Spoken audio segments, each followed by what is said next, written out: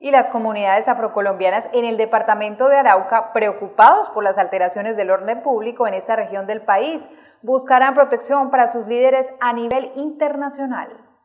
A la comunidad afrocolombiana en el departamento de Arauca se encuentra preocupada por las alteraciones del orden público que se vienen presentando en esta región del país, también por la detención arbitraria de una de sus lideresas. Nos preocupa la situación de orden público que está viendo el departamento, donde todos los araucanos eh, estamos mirando, se está viendo unas muertes selectivas que se están realizando entre personas, miembros también de la fuerza pública, detenciones eh, arbitrarias también como tiene que ver con líderes en el caso nuestro, eh, nosotros rechazamos esa detención que se le hizo a la compañera lideresa Beatriz Mosquera, injustamente por parte también de la policía. Yo considero que los actores, tanto eh, que están en el tema del conflicto y las autoridades competentes deben de revisar bien estos casos para no vernos nosotros como líderes y comunidad en general afectada por las acciones que realmente terminan últimamente pidiendo disculpas por una equivocación que esa situación nos preocupa a todos los líderes del departamento de Arauca. Otra de las grandes preocupaciones de esta comunidad es que los grupos al margen de la ley estén atacando hasta la población civil. Claro que nos preocupa que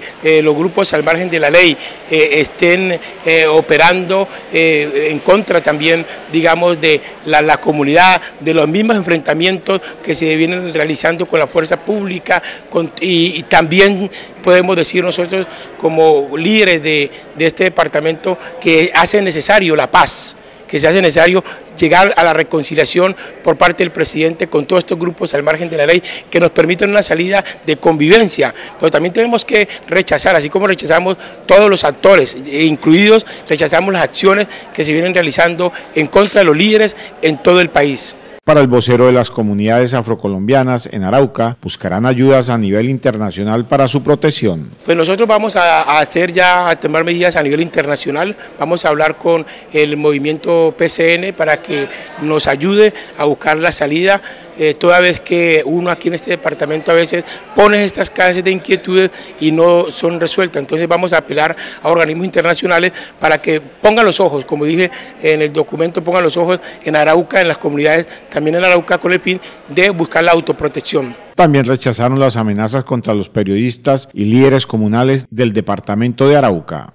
Efectivamente se habla de, las amenazas, por eso estoy diciendo que rechazamos todas estas acciones en contra de todos, los periodistas, los comunales, los empresarios, los ganaderos, todo actor de violencia rechazado por las comunidades negras en el departamento de Arauca, venga de donde venga, sean eh, los grupos al margen de la ley y también rechazamos las acciones irregulares de la fuerza pública. Aquí no vamos tampoco a, porque por lo menos vivimos en Pueblo Nuevo, una violación abierta como se hizo a esta joven, eso también hay que rechazarlo. Aquí hay que rechazar a todo el que haga cualquier acto irregular en contra de la población civil. Los líderes de las negritudes seguirán trabajando en pro de la protección de cada uno de sus líderes o lideresas.